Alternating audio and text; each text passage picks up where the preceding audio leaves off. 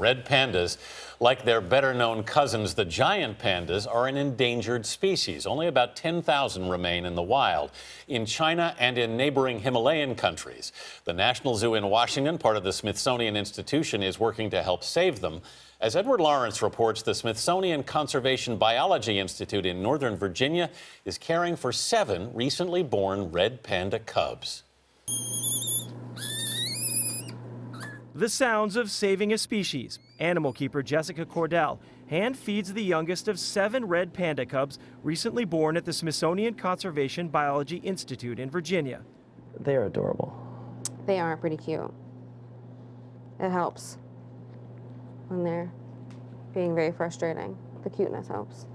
This one is just two and a half weeks old. Cordell and the other animal keeper will raise five of the seven cubs born at the oh Institute. Are these your kids? They're like my kids, yeah. She feeds them by hand six times a day, from 6 a.m. to midnight, seven times a day for the two smallest red panda cubs, just two days old. Here we go. The cubs get antibiotics, sleep in incubators set to 88 degrees, and are treated like any child after birth. And now what are you doing? I'm just burping them a little. Um, but I haven't really heard them ever like outwardly belch, but we have heard it in other species, but it does kind of settle them a little. In the wild, red pandas are part of a complex web of plants and animals in the Himalayas, stretching from Nepal to Myanmar.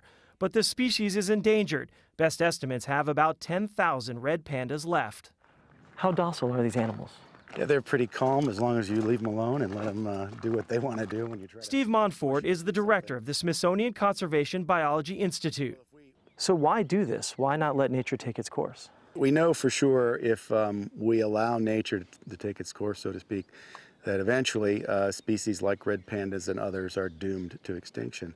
Monfort says zoos must keep the species alive in captivity in case red pandas need to be repopulated in the wild. If we don't do that now, while there's still enough individuals to, to study, to understand, to reproduce, it'll be too late if we're called in, you know, when there's a catastrophe. Monfort adds each one has a role to play for the planet.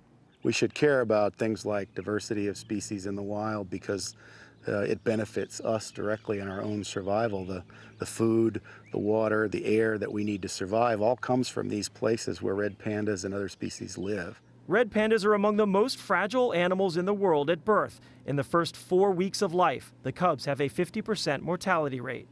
You're being ridiculously cute right now. Oh, oh, oh, you woke up? Oh. Three cubs born at the Institute were from a mother in the last stages of skin cancer. She died after their birth. These two, just two days old, were taken away from their mother, Reagan, seen here in her habitat, because of her history of abandoning her young. She hasn't had the best background history of maternal care.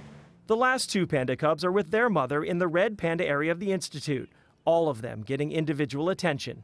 You're done. You're all done. Once the red panda cubs reach four months old, they will be sent to other zoos in the U.S. Cordell hopes this gives them the best chance to keep their place in the world. For CBS This Morning Saturday, Edward Lawrence, Front Royal, Virginia. They are ridiculously cute, like you said. I like hearing you say that.